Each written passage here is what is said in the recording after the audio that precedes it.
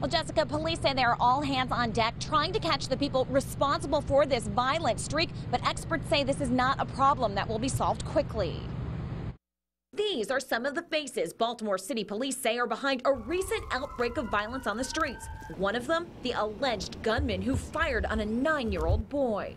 I'm putting vegetable and people start shooting. Kevin Pyatt now behind bars charged with attempted murder. The crime, one of 219 non fatal shootings in the city this year. That's compared to 120 shootings this time last year.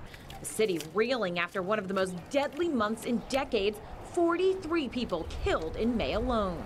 We're talking about people. These are not numbers, these are human beings who have lost their lives in the streets of Baltimore. Police hunting down suspects have arrested 10 people and have opened warrants on 11 more. But just how difficult is it for the police to go after that many gunmen? It's a daunting task. Public safety expert and former police officer Doug Ward says the recent arrests will ease some fears in the community. I think it is reassuring that the police are showing these successes.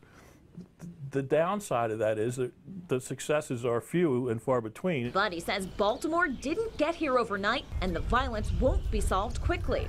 This has been a slowly boiling crisis for years. It just reached a tipping point, and that's what we're seeing now. And recovery will take some time.